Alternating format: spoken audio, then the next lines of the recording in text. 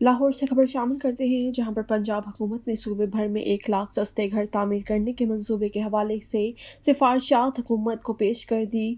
जराये के मुताबिक पंजाब हुकूमत छब्बीस हज़ार महाना किस्त पर एक लाख अपार्टमेंट शहरियों को देगी। इस हवाले से महकमा housing and town planning agency ने अपने छत अपना घर मनसूबे की इब्तदाई सिफारशात हुकूमत को पेश कर दी, जिसके मुताबिक एक अपार्टमेंट की कीमत पंद्रह रुपये होगी। पंजाब हुकूमत अपार्टमेंट की तमीर पर साठ फ़ीसद सब्सिडी देगी जबकि शहरी चालीस फ़ीसद रकम किस्तों में अदा करके अपार्टमेंट ले सकेंगे।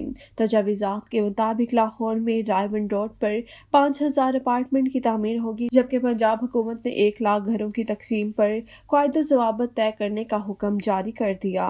जराये के मुताबिक सोशल प्रोटेक्शन अथॉरिटी रूल्स बनाएगी स्कीम रावलपिंडी, मुल्तान, फैसलाबाद, सियालकोट और सरगोदा में शुरू की जाएगी, जबकि आइंदा होने वाले इजलास में मजीद फैसला होगा।